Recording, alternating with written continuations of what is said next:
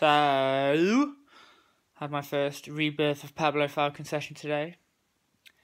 Went alright. The drive home was um, interesting. As um, I don't think I could feel my arms or legs.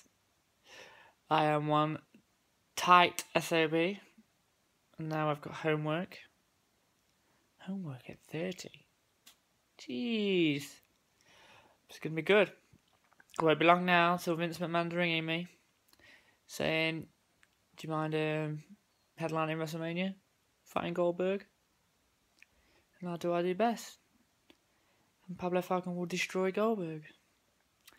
What I do need help with is this food monarchy. I need ideas of what to eat and whatnot. And don't give me crap because I will check. Don't just be like, oh, what you should be doing, Paul, is um, eating loads and loads of ice cream constantly. Just ice cream.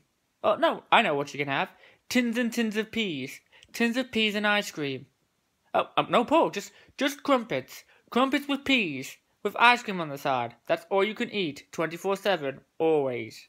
I will check, because I know there's idiots out there. Yes, idiots. You know who you are. So, uh, yeah, that'd be good. And the drinking water malarkey's hard as well. And breakfast. Breakfast. Waking up and just having breakfast when I'm at work doesn't happen. So I need some of this fluid breakfast that people are talking about where I put like blueberries and mix them up and drink them or something. I don't know. So any more ideas down?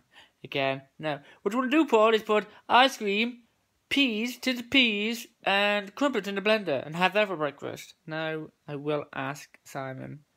I'm not, I'm not, I'm not going to fall for it.